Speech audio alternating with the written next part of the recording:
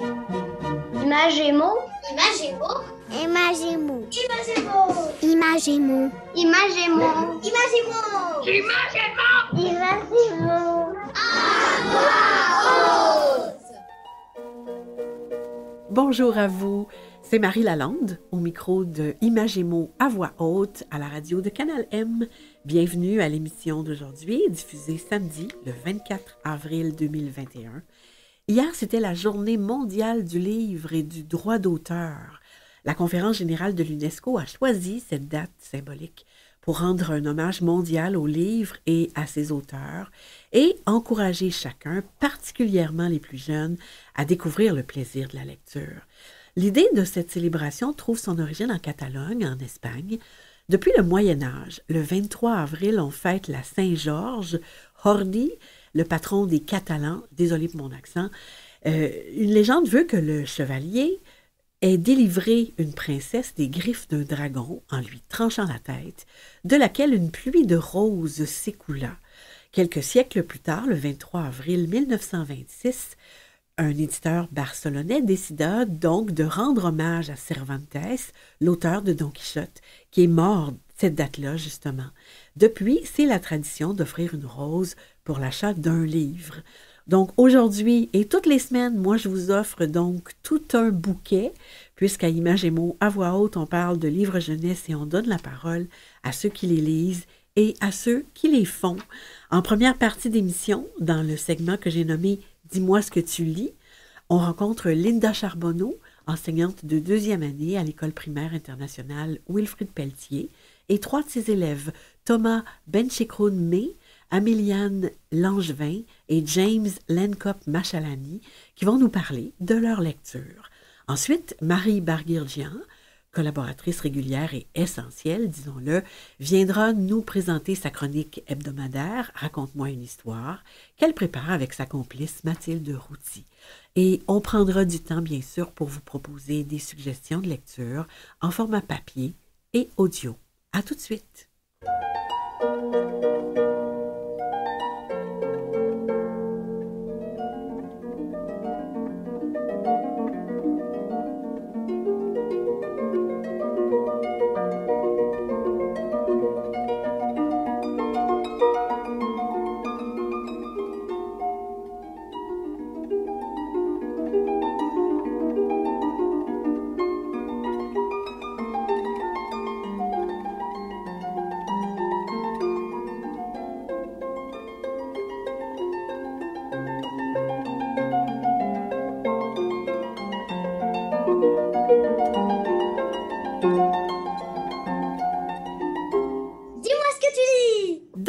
Segment d'émission Dis-moi ce que tu lis, aujourd'hui, je reçois Linda Charbonneau, une enseignante d'expérience à l'École internationale Wilfrid Pelletier, et trois des élèves de sa classe de deuxième année, Thomas Benchikroun May, Améliane Langevin et James Lenkop Machalani.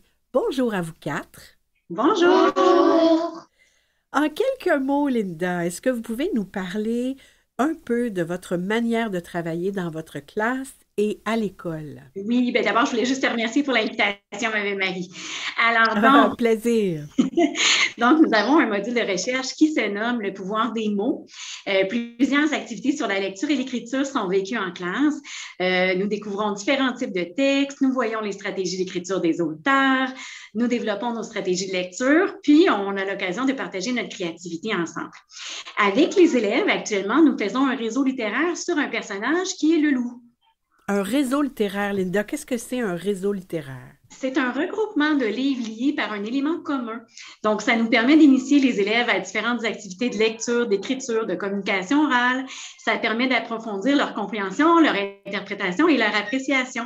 Donc, on voit des albums d'histoire mettant en vedette le personnage du loup, où il est différent d'une histoire à l'autre. Donc, ça permet aux enfants de faire des comparaisons, euh, le, le- le caractère, la description physique, euh, le lieu, l'histoire, le début, le milieu, la fin. Hmm.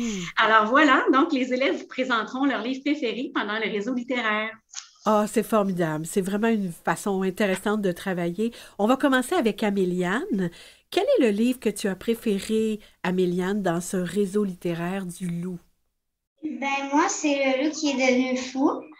Euh, ce livre-là, il, il a été écrit par Joan Garnier et il a été illustré par Lou Fan. OK. Puis pourquoi c'est ton livre préféré?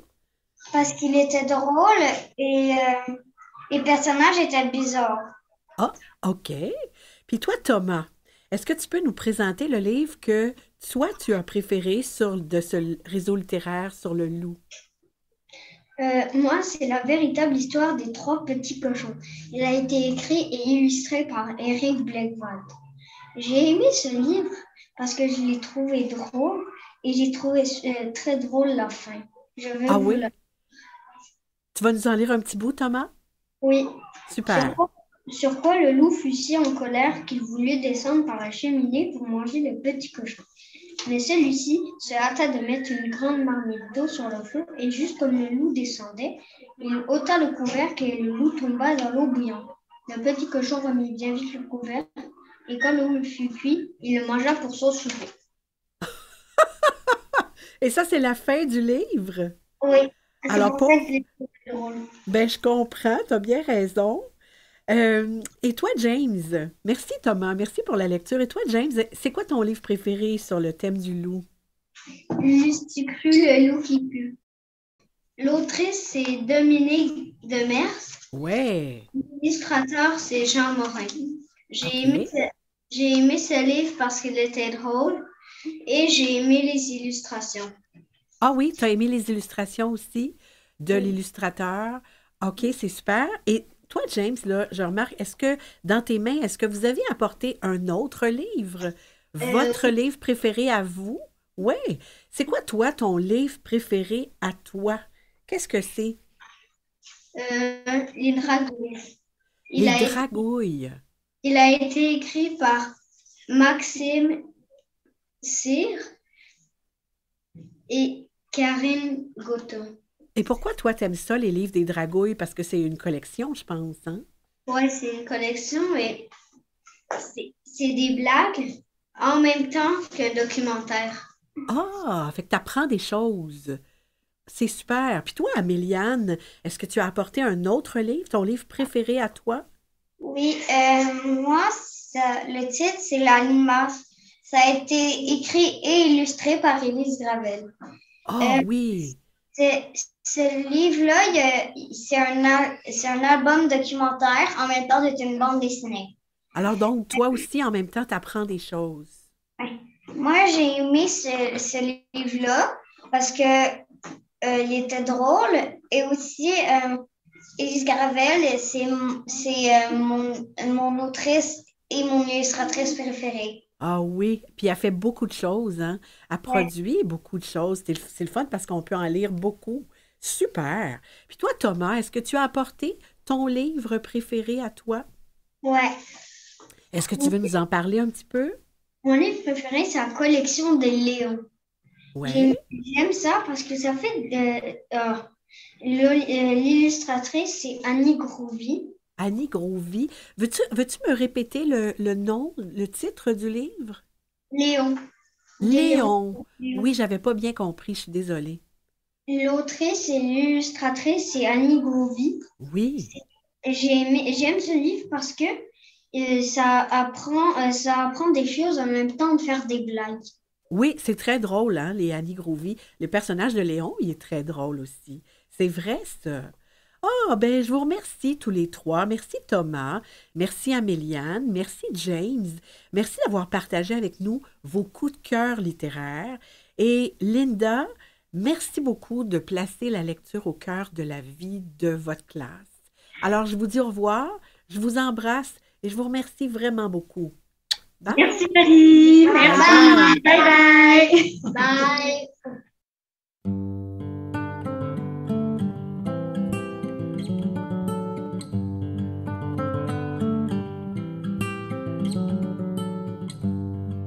No pierdo la esperanza.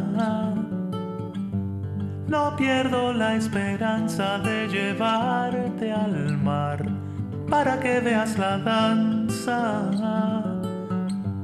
El vuelo de gaviotas, las olas brillar. Voy guardando centavitos de las últimas cosechas. Si Dios quiere el próximo año llegaremos a la fecha. Prepárate para ver todo lo que allí te he contado. El mar es un cielo de agua y nunca se ve el otro lado. La, la, la. No pierdo la esperanza. No pierdo la esperanza de llevarte al mar para que veas la danza. El vuelo de gaviotas, las olas brillar. Vieras qué linda la tarde cuando el sol va a despedirse.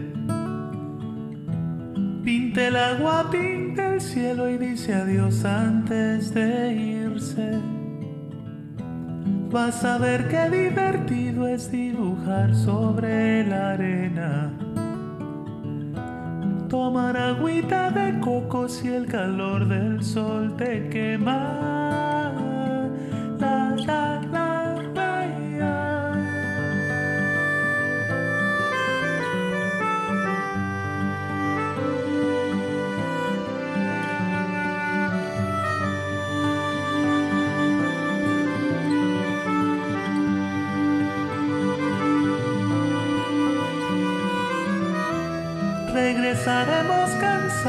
pero alegres de haber ido.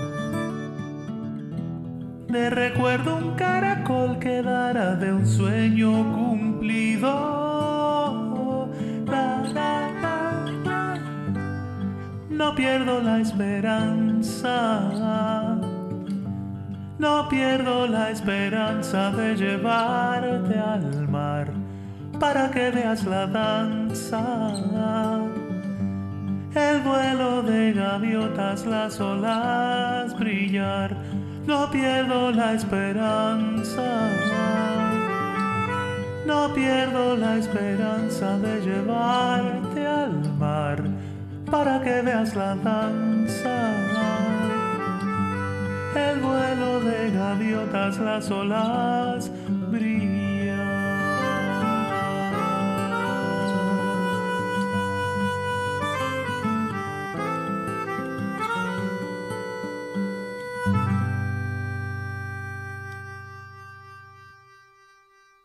On écoutait Lievarte al mar, une chanson de Guillermo Henderson. Et si je, trad- je traduis le titre en français, ça donne T'amener à la mer. Raconte-moi une histoire. Bonjour Marie Barguirdian. Bonjour Marie, On vous rejoint en Europe. Vous êtes toujours dans le sud de la France, je suis remontée à Paris. mais vous êtes toujours en France? Toujours, j'espère revenir vite. Ah oui, on, on- on s'ennuie de vous, même si on se voit euh, à distance par euh, euh, via Zoom, là. C'est pas comme en Ouais. vrai. Alors, vous nous présentez aujourd'hui votre chronique Racontez, Raconte-moi une histoire que vous avez préparée avec votre complice Mathilde Routy. Cette semaine, il est question de la mer. De quel livre s'agit-il, Marie? Eh bien, aujourd'hui, je vais vous présenter un livre qui s'in- s'intitule Mia et la mer, qui est publié au 400 coups. Il a été publié en 2020, je crois, et il est écrit par Jaime Gamboa et Rosé Icasa. Et c'est un récit inspiré d'une chanson euh, de Guillermo Anderson, Levarte al mar. Hmm. Voilà. J'aime bien que ce soit vous qui présentiez toutes ces, tous ces noms euh, en espagnol. C'est parfait, ça me libère Pas complètement. complètement bilingue. hein. Euh, D'ailleurs, Lievarte, Lievarte. Lievarte. Alors, vous vouliez faire des liens avec le manifeste euh, On a tous besoin d'histoire parce que c'est un, un plaisir qu'on a de faire ces liens-là. C'est important. Oui, abs- absolument. Et merci de nous donner l'occasion chaque semaine de le faire. Mhm. Et en effet, euh, le lien qu'on fait entre euh, l'album choisi dans les podcasts et les propos du mani- du manifeste, ce qui me ravit de le faire, c'est qu'à chaque fois, euh, on est content de constater combien ça nous amène à réfléchir sur différents angles qu'on peut avoir en abordant une histoire. Par exemple, dans l'histoire de Mia et la mer, on pourrait dire que elle montre combien les histoires nourrissent et développent notre imaginaire, mais elle est aussi importante, cette histoire, parce qu'elle montre combien les histoires permettent de mettre des mots sur nos émotions. Et quand on est enfant, on n'a pas toujours ces mots pour exprimer ce qu'on ressent, pour dire les choses. Des fois, on a peur de les dire, des fois, on pense qu'on va se moquer de nous. Et euh, vraiment, euh, les albums peuvent donner cette, euh, cette, ce tremplin, enfin, cette, Mhm. porter les mots pour les enfants. Ouais, c'est une belle opportunité à, à tout le moins de, de faire ces liens-là. Ouais. D'accord. Donc, euh, pour développer, euh, mettre des mots sur les émotions, est-ce qu'on pourrait aussi aller vers euh, développer l'imaginaire? Clairement, parce que, bon, vous allez un petit peu l'entendre dans le podcast, mais pour aller un petit peu plus loin, en fait, ce papa qui parle à sa fille, il a nourri d'histoires et, et c'est tellement important. Euh, c'est tout ce qu'il a. Il est d'un milieu très pauvre et euh, tout ce qu'il a, c'est ce que son propre imaginaire peut lui apporter de ces histoires de la mère qu'il véhicule depuis qu'elle est toute petite. Et cette Mia pense vraiment que son père a vu, la mère connaît tout ça. Alors, il y a tout le vocabulaire qui vient enrichir ça. Euh, c'est l'histoire des histoires du papa, finalement, ce, Mhm. ce livre. C'est ça qui est très, très beau. Et je crois que bah, notre cerveau se métamorphose à chaque nouvelle histoire. Euh, il- les mots, l'imaginaire qu'il provoque, les images qui naissent, à chaque fois nous enrichissent un peu plus. C'est ce que fait ce papa tout avec sa fait. petite Mia. Mhm. Absolument. Eh bien, eh bien, trêve de présentation. Alors, on va écouter la chronique si vous voulez bien. Avec plaisir. Merci.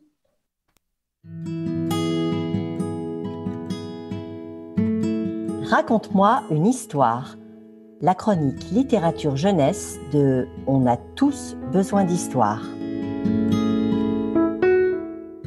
Aujourd'hui, Mia et la mer de Jaime Gamboa et Roger Casa, publié aux éditions Les 400 coups, un récit inspiré d'une chanson de Guillermo Anderson, Llevarte al mar. Chaque soir, en allant au lit, Mia faisait la même demande. Papa, raconte-moi la mer. La première double page de Mia et la mer nous plonge dans l'intimité d'un père et de sa fille que l'on aperçoit par la fenêtre de leur maison. Une maison nichée au creux d'une multitude d'autres, disposée sur une colline dominant la mer. D'ailleurs, le texte flotte au-dessus de la mer racontée par le père. Un vieil homme, mais on dirait plutôt un homme vieilli. Au fil de la longue vie de Mia, qui déjà dépassait l'âge de 8 ans, son papa lui avait répété et répété des histoires qui parlaient de la mer. Et ces histoires nourrissent l'esprit de la petite Mia depuis toujours.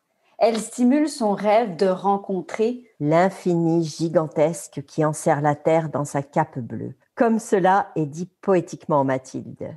Ce rêve se réalisera et lèvera le voile sur un grand bonheur, celui de découvrir ensemble quelque chose d'aussi beau. On comprend avec beaucoup d'émotion que le père, lui non plus, n'avait jamais vu la mer. Tout en finesse, au-delà de la relation père-fille, cette très belle histoire évoque la vie difficile des pêcheurs face à l'intensité de la pêche industrielle qui vide les océans. Elle montre surtout combien l'amour pour son enfant conduit le père vers la lumière et la vie plutôt que de s'abandonner à la tristesse de son sort. Mia, c'est la joie à laquelle on ne peut résister, à laquelle on ne peut mentir. Elle explose de joie dans les bras de cet homme qui a trimé dur pour atteindre ce but, un cadeau pour la vie. Un mot sur les illustrations texturées qui offrent une grande variété de cadrages, de points de vue. Elles ont toutes en commun une lumière bien particulière. Le bleu et le jaune très présents se mêlent pour offrir parfois la beauté d'un magnifique vert émeraude. Espérons, Mathilde, que Mia porte cette joie longtemps encore et vive les histoires comme celle de Mia et de son papa qui montrent combien notre imaginaire est un moteur pour la vie. Rappelons le titre de ce livre, Mia et la mer, édition Les 400 coups dans la collection Carré Blanc. L'album, publié originalement en Uruguay, a été traduit par Jude Deschênes. Il est en vente dans toutes les bonnes librairies et disponible en bibliothèque. C'était Marie Berguerjean et Mathilde Routy. Parce qu'on a tous besoin d'histoire. Oh, ça donne le goût. On sent presque l'air salin. On entend le bruit des vagues qui nous appellent. C'est très, très évocateur. Oui, et, vraiment, les illustrations sont magnifiques dans ce livre. En réécoutant le podcast, c'est fou comme euh, chaque fois qu'un album est riche, on redécouvre des choses à l'intérieur de, des textes ou à, l'évocation de ce qu'il raconte ou ce qu'il montre. Mais je me disais, au fond, ce que fait ce papa, c'est de euh, inconsciemment, en lui racontant, il fait naître un désir à sa fille, le désir de voir la mère. Et, et c'est ce désir qui va être moteur pour leur prochaine vie, puisque finalement, il va mettre un point d'honneur à, l'emmener jusqu'au bout de ce désir et lui montrer la mer. Voilà. Ah Alors, et, oui, puis on pourrait dire aussi que c'est un album qui, fait l'apologie de, des histoires à l'oral. On parle beaucoup mhm. des textes écrits, etc. Mais évidemment, l'oralité reste très, très important. Euh, juste faire naître des images sur des mots, c'est ce à quoi la petite Mia est sensible. Alors voilà. Ah Et les illustrations illustrent vraiment bien cet aspect-là. Oui, tout à fait. Alors, je, l'ai trouvé, le livre, finalement, je l'ai lu avec un plaisir fou. Euh, j'ai pris euh, le temps aussi de noter qu'il y a une dédicace, et vous en avez parlé, euh, une dédicace en, lien avec une chanson, hein, qu'on a diffusée juste avant la chronique, c'est ça. Alors, ah, je ne connais pas assez euh, l'Uruguay pour savoir si c'est une chanson très populaire ou pas, mais mm. sans doute pour que quand même il y ait cette dédicace. Mais c'est très beau en tout cas. Merci pour le Moi, j'aimerais ajouter que Mia et la mère se retrouvent dans la sélection CE1 du 33e prix des Incorruptibles. Ça, c'est une sélection de 39 titres édités par 25 maisons d'édition différentes.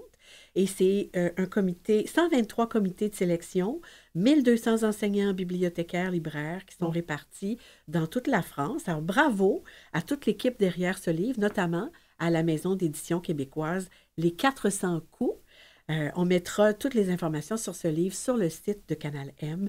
Merci, Marie Bergirdian. Merci à Mathilde Routy, votre collaboratrice. On vous retrouve la semaine prochaine avec grand plaisir. Avec grand plaisir partagé. Merci Marie Lalande. Merci. Après cette courte pause, pour vous, des nouvelles du monde de la littérature jeunesse et quelques suggestions de lecture.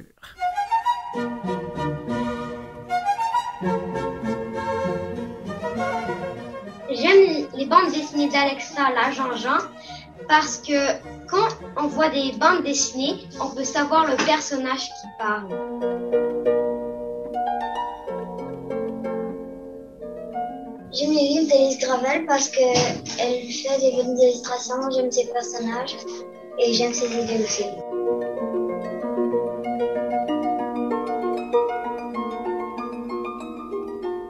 J'aime les bandes dessinées parce que ça a beaucoup d'illustrations.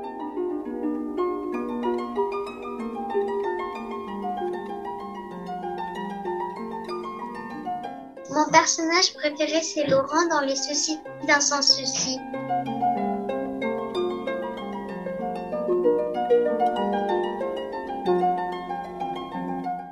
Mon personnage préféré, c'est Léon.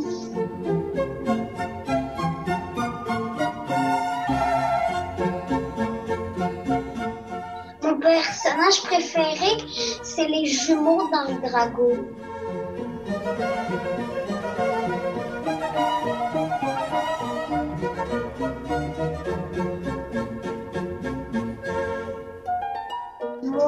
Mon personnage préféré, c'est Dorothy dans Le Magicien d'Oz.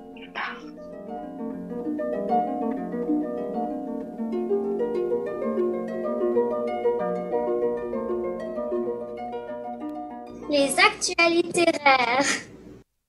Les actualités rares, donc des actualités littéraires, des nouvelles, des idées, des suggestions de lecture et d'écoute. Cette semaine, à Marie raconte je lis La princesse et le loup qui ne savait pas lire de Thierry Robrecht et Philippe Goustens des éditions Mijade. Dans un album, une princesse est poursuivie par un loup.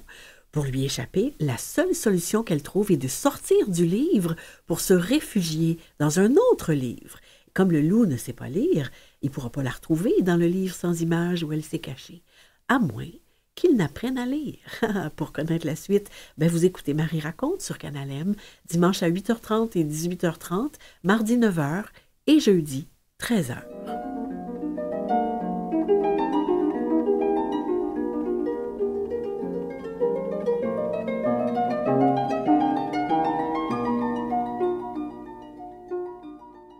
Actuellement, jusqu'au 25 avril, se tient le Salon du livre de la Côte-Nord. Tout se passe virtuellement cette année, évidemment. Je vous invite à aller consulter la programmation famille à l'adresse suivante info salon du livre Côte-Nord, donc toutes ces lettres-là collées ensemble, .com.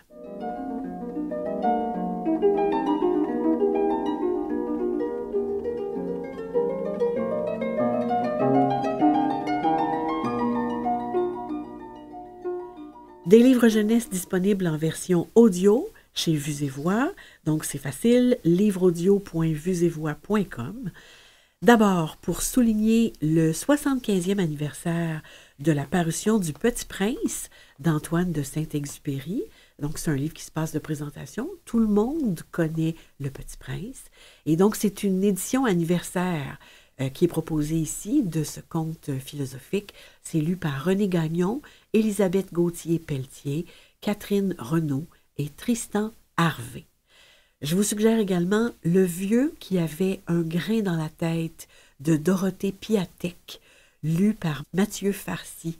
C'est un conte social empli de poésie qui porte un regard tendre sur les personnes qui n'ont plus de foyer, donc des personnes itinérantes, mais qui ont tant de richesses à donner. Et je vous rappelle que vous pouvez retrouver les titres de tous les livres mentionnés aujourd'hui sur le site de l'émission, sur la page web de Canal M.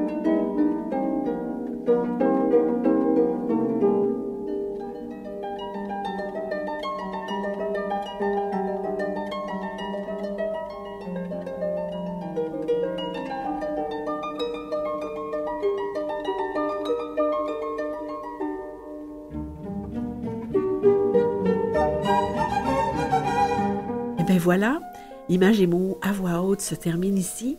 J'aimerais remercier les invités et les collaborateurs d'aujourd'hui. Merci d'abord à Linda Charbonneau, enseignante en classe de deuxième année à l'École internationale Wilfrid Pelletier, et à ses trois élèves, Thomas Benchekroun-May, Améliane Langevin et James Lancop Machalani. Merci à Marie Barguirgian pour sa chronique Raconte-moi une histoire. On remercie également Mathilde Routy, sa collaboratrice. Merci à Alicia Ronald, responsable du contenu numérique et des réseaux sociaux chez Vues et Voix. Et merci à Jean-Sébastien Laliberté, complice, coordonnateur du studio et metteur en ondes. Bonne semaine à tous, bonne lecture et au plaisir de vous retrouver la semaine prochaine.